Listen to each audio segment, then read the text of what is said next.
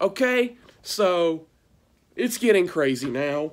Um, apparently, five hours ago, Tank was transferring, and now he's going to be at practice tomorrow.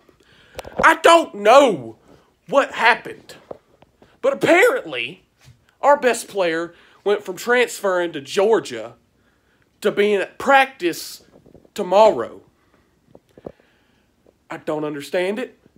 It's a much more reliable person now than the J Boy show, by the way. So, I mean, everything's looking up, but I wouldn't get my hopes up because at one point it was reported that Bo was coming back, and then now he's on his way to, I don't know, UCF or whatever. So, you know, I'm trying to keep y'all plugged in, but it's getting crazy. Love y'all. War Eagle.